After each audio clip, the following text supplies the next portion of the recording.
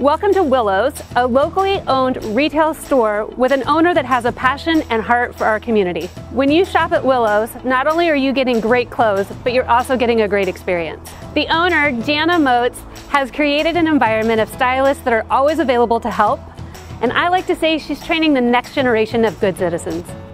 But it's just more than that. When you meet Janna, who's quiet, humble, you'll see her passion for community really come out. Each year, she hosts a fashion show in direct partnership with the Giving Closet and has most recently partnered with a women's shelter to give back after her 23 year journey in retail, a birthday party of sorts. What did it take for you to become relevant essentially during COVID?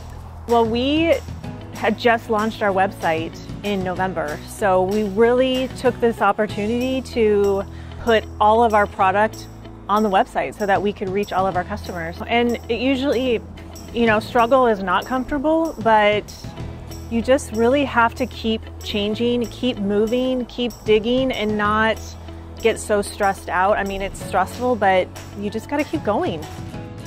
And where are we located at? 104 Grand Boulevard. I'm going to take a pause and go in and do some shopping. Let's go.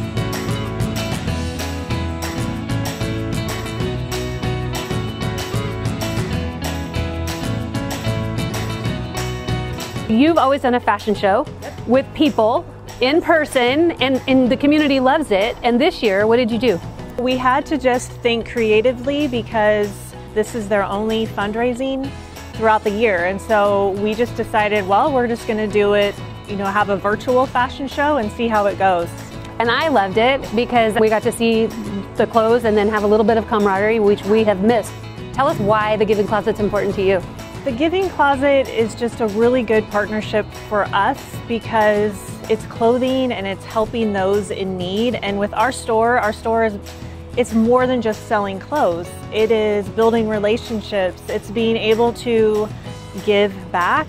And the Giving Closet is a free, basically a free store that just helps anybody who's in need. I love that. Yeah, it's great. So when I say it's not just about retail, it's really about community.